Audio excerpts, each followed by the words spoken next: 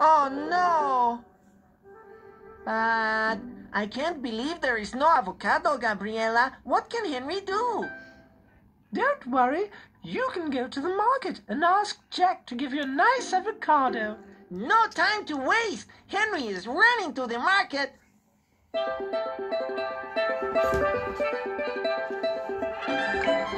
Henry really hopes there will be some avocados in the market. Because if there aren't any there, Henry will not know what to do, especially today as Henry wants to eat guacamole more than anything.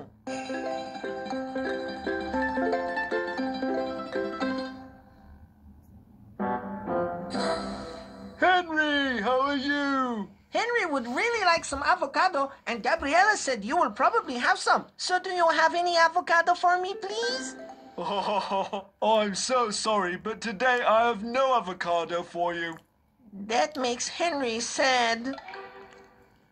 Oh, cheer up, Henry. Just go to the avocado field and they'll pick an avocado straight from the tree. They will pick me an avocado straight from the tree? Of course they will, Henry. How lovely! Soon I will have an avocado. Henry is going to the avocado field.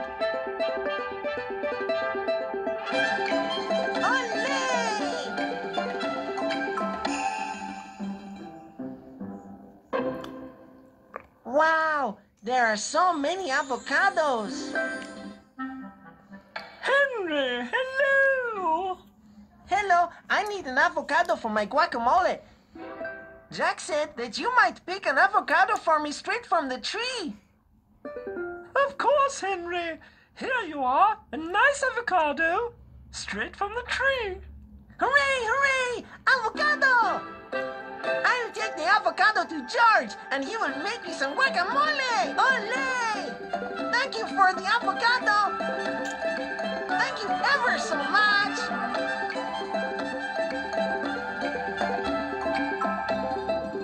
ah, wonderful, you're back. There you are, George, an avocado!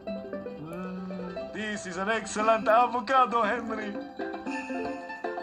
Epa, epa. Oh, hey, There you go, especially for Henry. Guacamole. Who wants to eat some tasty guacamole? Henry!